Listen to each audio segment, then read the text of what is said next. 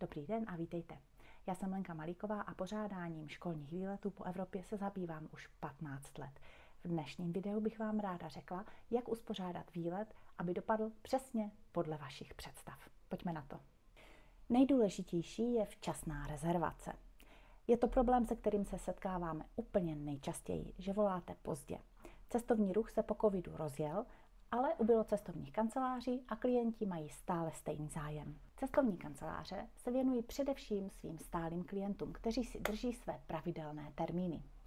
Mějte na paměti, že je potřeba rezervovat nejméně s šestiměsíčním předstihem. Nejvíce vytížené měsíce jsou květen, červen, září a prosinec. Prakticky všechny školy v republice chtějí vyrazit v těchto termínech. Tyto termíny jsou velmi frekventované a kapacita průvodců, autobusů i ubytování je velice rychle zaplněna. Takže doporučuji zvážit i jiné měsíce, jako je například duben nebo listopad, kdy je všude méně turistů, jsou příznivější ceny a podmínky vašeho výletu diktujete vy. Je na denním pořádku, že v květnu odmítáme klienty. Je nám to hrozně líto, protože bychom chtěli výjít vstříc všem, ale bohužel to nejde. Takže nezapomeňte na včasnou rezervaci minimálně s šestiměsíčním předstihem. Další komplikací je počet osob. Velice často nám píšete, že máte pouze jednu třídu. Bohužel na našem trhu chybí malé autobusy, protože jsou nevýhodné z ekonomického hlediska pro všechny zúčastněné strany, jak pro cestovní kanceláře, tak pro dopravce, tak ve finále i pro klienta, kterému vyjde tento výlet velmi draho.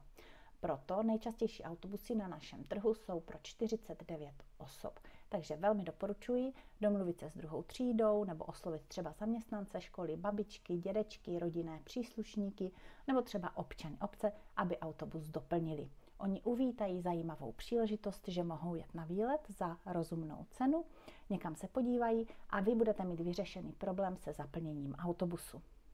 Váš další dotaz se týká cestovního pojištění. Některé školy mají sjednané cestovní pojištění, které ovšem velmi často nezahrnuje storno sjednaných služeb. Pokud si vezmete od nás cestovní pojištění, což činí většina klientů, tak budete mít pojištěno i storno v případě nemoci, což se stává velmi často, že děti onemocní na poslední chvíli a v tom případě dostávají 80 z celkové částky zájezdu zpátky od pojišťovny. Takže pojištění od pojišťovny Union která nás pojišťuje, velmi doporučujeme, ale není to nezbytně nutné. Jenom si zjistěte, jaký rozsah pojištění máte sjednáno od školy. U všech zájezdů dbáme na to, aby byl program vyvážený a odpovídal věku a zájmům dětí, které s námi cestují. Specializujeme se na druhý stupeň a střední školy. Naši průvodci ví, jak pracovat se školními kolektivy, tak, aby je zaujali, aby si zájezd užili a také, aby vy jste si trochu odpočinuli.